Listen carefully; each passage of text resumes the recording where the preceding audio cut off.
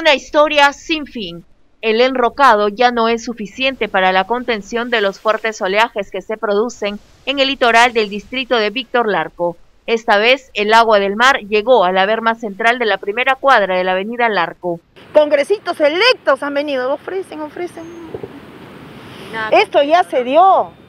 Yo he visto máquinas, máquinas, las máquinas vienen. ¿A qué vienen? A pararse, a tomarse la foto y no hacen nada. No nos engañen más, por favor.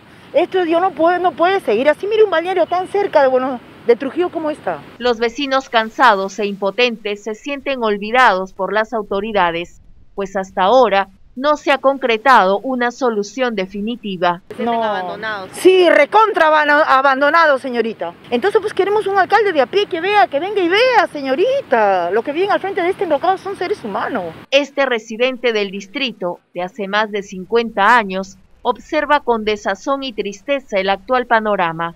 No obstante, recuerda con añoranza aquellos tiempos en que bañistas de distintas zonas de Trujillo disfrutaban de días soleados en la playa.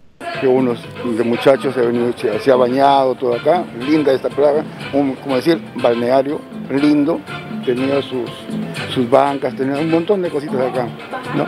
que la gente se venía acá, hasta los de California, el se venían para acá. Es una lástima y es una pena que esto esté así. Negocios cercanos también fueron afectados, además de esas unidades de transporte público que pasan por el lugar.